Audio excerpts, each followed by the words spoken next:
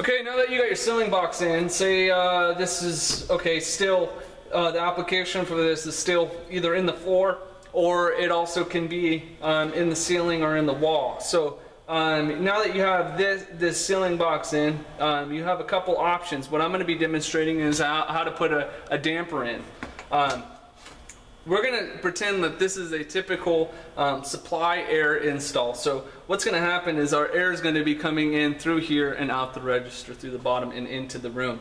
So in that case, when we install a damper, or even if we are going to install an elbow for that matter, um, what we always want to make sure, and what I always try and stress in all of my videos, is that your crimp side is always going to be towards um, the inside of your ceiling box. So if you want you what you want is this crimp side to go sit right inside there because air is going to come down through here and it's going to pass right by that seam.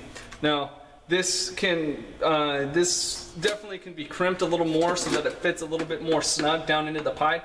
But the concept of it is is that it's blowing down and so your seam is lapped on the inside of, of, of, this ceiling box. If it were the other way and it's going around the outside like so, then you have the opportunity of the, the collar on the inside of the ceiling box to collect air and uh, potentially cause a leak. Now, this is installed correctly if it's an exhaust. If you have a, a, a fan located on the opposite end of this, of this duct right here, then you're sucking air out of that room so your, your, your air is actually going the correct way. So that's the correct way to install a damper into a ceiling box or a register box, C box, B box, whatever you call them in your part of the woods.